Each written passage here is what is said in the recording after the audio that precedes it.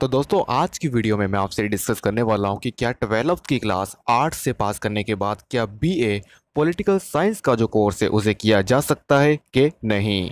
Hello friends आप देख रहे हो एजुकेशनल वर्डस्टर चैनल तो दोस्तों, आज की वीडियो में मैं आपसे डिस्कस करने वाला हूँ बीए पॉलिटिकल साइंस कोर्स के बारे में।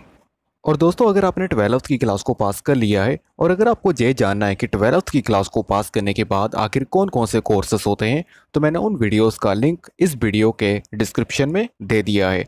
आप इस वीडियो के ख़त्म होने के बाद उन वीडियोस को भी ज़रूर देखिएगा। तो चलिए, अब हम अपनी इस वीडियो को शुरू करते हैं। तो आप में से कई स्टूडेंट्स का दोस्तों ये डाउट होता है कि can I do B A political science course after twelfth arts यानी कि ट्वेल्थ की क्लास आर्ट्स से पास करने के बाद क्या बी ए पोलिटिकल साइंस का जो कोर्स है, उसे किया जा सकता है कि नहीं? तो मैं आपको बताना चाहता हूँ, जी हाँ आप ट्वेल्थ की क्लास आर्ट्स से पास करने के बाद आप बी ए पॉलिटिकल साइंस का जो कोर्स है, उसे आप कर सकते हो। और अगर मैं आपसे बी ए पॉलिटिकल साइंस की एलिजिबिलिटी के बारे में अगर मैं आपसे डिस्कस करूँ तो B A political science course का एलिजिबिलिटी क्राइटेरिया दोस्तों, जय कहता है कि आपको जो ट्वेल्थ की क्लास है, वो आपको पास करनी पड़ेगी। आपको ट्वेल्थ की जो क्लास है, वो आपको कम से कम 50 परसेंटेज मार्क्स के साथ आपको पास करनी पड़ेगी। तो ट्वेल्थ की क्लास को पास करने के बाद आपको बी ए पोलिटिकल साइंस में एडमिशन मिल जाएगा।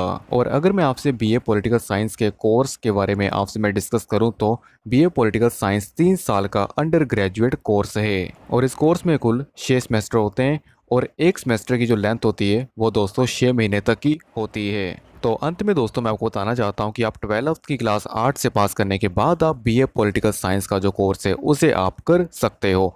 तो दोस्तों, इस वीडियो में मैंने आपसे B A political science course के बारे में आपसे मैंने इस वीडियो में डिस्कस किया है। मुझे लगता है कि आपको इस वीडियो के माध्यम से काफ़ी अच्छी जानकारी आपको प्राप्त हुई होगी। और अगर आपको किसी भी प्रकार का कोई डाउट है तो दोस्तों, आप नीचे मुझे कमेंट बॉक्स में कमेंट करके पूछ सकते हो। नहीं तो आपको इस वीडियो के डिस्क्रिप्शन में और भी कई सारे कोर्सेस के बारे में वीडियोस मिल जाएँगी। आप उन्हें वहाँ जाकर भी देख सकते हो। तो अंत में दोस्तों, अभी आपको जय वीडियो कैसी लगी? अगर आपको जय वीडियो पसंद आई है तो आप वीडियो को लाइक कर सकते हो और चैनल को सब्सक्राइब करना मत भूलना।